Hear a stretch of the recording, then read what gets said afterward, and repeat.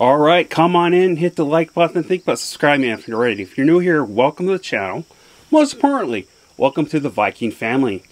So let's just be my personal opinion slash review of the 2023 film Once Upon a Time in Ukraine. The plot is Ararako, a samurai, enters the territory of Ukraine, seeking revenge on the Japanese hammer for the hammer Hamurato. I just butchered the hell out of that. I do apologize. Um, a slave trade, human slave trade. You got samurais. You got ninjas. You got uh, you know this kind of 1944 type of western, while not being a western kind of plantations that are. Uh, of uh, other Ukrainians, women and stuff of the same race, uh, um, you know, opioids and stuff type of thing. But they didn't really necessarily dive too deep into that, to be honest. Uh, even show them out in the thing. So, uh, but this definitely got the influence of Quentin Tarantino, and I butchered his name as always. But you can tell that from the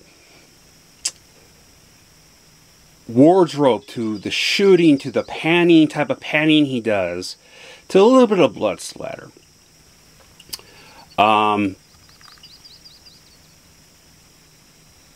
definitely a a somewhat short film. It was really good. It has a kind of comical stuff to it, but in a necessarily good way.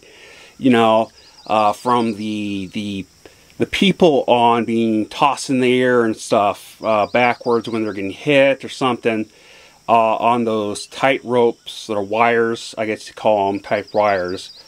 Um, you know, it has that type of thing. Now, I was worried this was going to be a bad, uh, possible too short of a written story because it's only an hour and 30 some minutes. So I was thinking it was going to be short. But by the end, I was actually very thrilled and very happy with what we got. Uh, it was definitely, there, they had some room for some more stuff to add, um, to be honest, like a two hour almost. But I think for what we got, it was really good. It was really entertaining. Uh, definitely, I'm I'm personally not a big Quentin Tarantino fan. I think they're a hit or a miss for me personally, but I actually surprisingly really like this film. Is it ridiculous? Of course. Uh, it's not necessarily in a bad way, to be honest. Um, but uh, here is my rating.